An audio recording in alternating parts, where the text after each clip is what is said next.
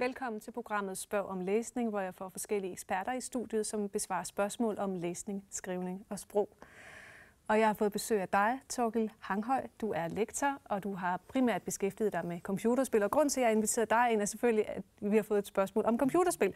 Det lyder sådan her. Mine drenge bruger masser af tid foran computeren. Er computerspil mere en afslappning og tidsfordriv? Og hvad er der med de computerspil, der gør, at de kan blive så opslugte, at de glemmer tid og sted? Hvis vi nu starter med at spørge dig om computerspil, er det ren afkobling, eller er det mere end det? Altså, det kommer jo meget på, for spil, man spiller. Der er jo helt klart øh, mange spil, hvor det bare, man sidder bare og kobler af. Man spiller Angry Birds eller Word Feud, og der er nogle øh, relativt simple ting, man laver, og så sidder man bare og gør det. øh, og det bliver gradvist sværere og sværere måske, og så kobler man af til det. Men computerspil er jo også øh, meget andet end det. Det er jo også den måde, man taler om spillene på, og det er, det er den måde, man øh, leger sammen med sine kammerater omkring det, hvis vi taler om børn og at computerspil spiller en meget stor rolle i forhold til børns øh, fællesskab og øh, hvad det er, de gør sammen. Og så er der jo også meget mere avancerede spil, øh, hvor man øh, bygger verdener og udforsker verdener sammen. Øh, og igen handler det om at sætte ord på de ting, man gør, og man deler de historier, man, de oplevelser, man har omkring det. Og der kan være meget læring forbundet med det, som ikke kun handler om at gøre nogle øh, simple ting. Kan man gå ind og grædbøje sådan computerspil? Der er dem, der er fuldstændig hjernevask, hvor man slapper af, og så er der dem, hvor man rent faktisk får rørt hjernemusklerne lidt. Ja, men man skal jo godt uh, tale om, at der er nogle spil, som har sådan karakter træning eller færdighedstræning. Mm. Og, uh, og der kan selvfølgelig også være en læring forbundet med det. Men tit så er det en form for repetition, uh, der er forbundet med det. Hvor der er gentagelser, og så er der måske en belønning, at man får nogle point, eller man kommer lidt længere. Mm. Uh, og der lærer man jo først og fremmest at blive god til spillet. Og når det så bliver for kedeligt eller for svært, eller, så gider man ikke det. Så det er nok det er primært det, man lærer der, det er at spille det spil. Mm. Øh, men, øh, men, men igen kan der være rigtig meget forbundet med, at man, man taler med andre om det, og man beskriver andre, hvad det er. Ja. Der er meget øh, læring og fællesskab forbundet med det. Ja, så læring i et så det mere avancerede computerspil, er det, at man taler om det?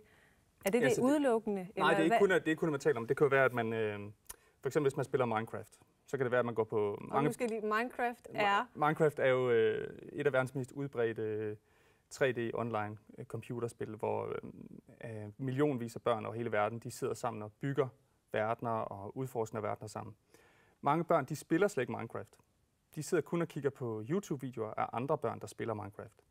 Det vil sige, det er for nogle børn er det simpelthen endnu mere spændende at høre børn, der fortæller om, hvad de gør i Minecraft, hvad de oplever, hvad det er for nogle monstre, de besejrer, hvad for nogle huse, de bygger, hvad for nogle verdener, de får bygget op. Det er endnu mere spændende end selv at spille spillet.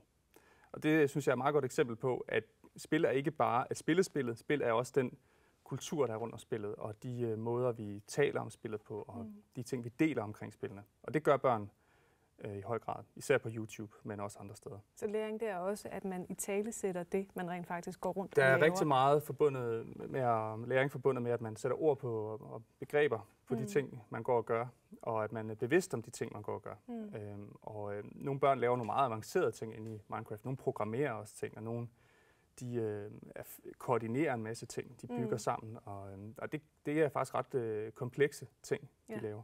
Så jeg kan høre, at den ligger på den ret avancerede del af skalaen. Ja, det vil jeg nok sige. Ja. Men, men kan man så gå ind og sige, at der er computerspil, der er bedre end... Altså hvis jeg nu har, ligesom vores brevskriver her, har ja. to børn, der spiller computerspil, skal jeg så sige, at det er bedre, at I går ind og spiller Minecraft. Det der øh, Angry Birds, eller at I skal sidde og knalde ballonger med fingrene, det skal I holde jer fra, for det lærer I ikke noget af. Jeg synes, øh, det er jo som alt andet her i livet, det er alting med måde, og jeg synes mm. jo helt klart, der kan også være noget værdifuldt i, at man simpelthen stresser af, at man kobler af. Altså det, at man sidder og spiller et spil som Angry Bird, eller Tetris eller de her casual games, mm. småspil, at man, det har en eller anden virkning, hvor man simpelthen kobler af, man stresser af. Mm. Nogle børn gør i hvert fald. Altså, det. jeg skal heller ikke sige mig selv fri. Nej, det er jo det, og det er jo rigtig mange voksne. De skal også lige huske ja. på, at den, den gennemsnitlige computerspiller er en, en kvinde i 30'erne, mm. øh, hvilket måske nok vil overraske nogen. Ja. Øhm, så, så, så det har da helt klart en gavn, men hvis man gør det hele tiden og kun, og man er fuldstændig besat af det, så, så kan det jo gå hen og blive en stressfaktor mere, end det faktisk har ja. en afslappende virkning. Og læring er måske også lidt ensidig. Ja, det, det er jo meget det samme, man gør. Det mm, har sådan en mm. gentagende karakter. Men hvis vi nu vender tilbage til den anden del af spørgsmålet, som gik på, at de her børn jo bliver fuldstændig opslugt af computerspillet. Mm. Hvad, hvad er det, de der computerspil egentlig kan? Ja, men altså, det, det man, øh, når man handler og agerer computerspil, så bliver man, får man tilfredsstillet nogle behov, som mm. handler om, at man gerne vil have respons, man vil have feedback på de ting, man gør.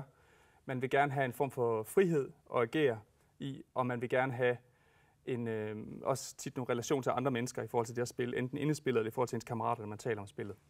Så det at spille spillet er ikke kun at sidde og gøre noget ved computeren. Det er, at man får faktisk øh, noget meningsfuld øh, respons fra spillet i forhold til ens handlinger. Man bliver vurderet på sine handlinger, og man udforsker de konsekvenser, som ens handlinger har, de valg, man træffer inde i spillet. Og det kan man jo godt, når man står udefra og kigger på nogen, der spiller, så tænker man, det er jo bare et spil. Men for den, der sidder og spiller, så er det meget virkeligt og meget værdifuldt, det man sidder mm. og gør. Det er dybt meningsfuldt at sidde og foretage de handlinger her. Det er dybt meningsfuldt at blive VIP på øh, Movistar Planet, for eksempel. I de øjeblik, man sidder og gør det, ja. så er det, ja. ja. Så der er nogle aspekter, altså nogle ting, som de der computerspil kan trække på, som er med til at gøre, at de her børn bliver fuldt, eller, og, og voksne. Nu skal ja. vi jo ikke stå og være heldige, som, nej, som gør, at vi nej, nej. bliver fuldstændig opslugt af det. Men det er jo, det er jo klart, at altså, spillene er, de øh, stimulerer nogle basale menneskelige behov, mm. simpelthen, som, som vi øh, gerne vil have tilfredsstillet. Ja, og så kan man sige, at de gode spil, de er rigtig gode til at tilfredsstille de her behov. Ja, og mange forskellige typer behov. Mm. Øh, om det så bare kun er respons, om det er at have frihed, eller om det er at have relationer til andre.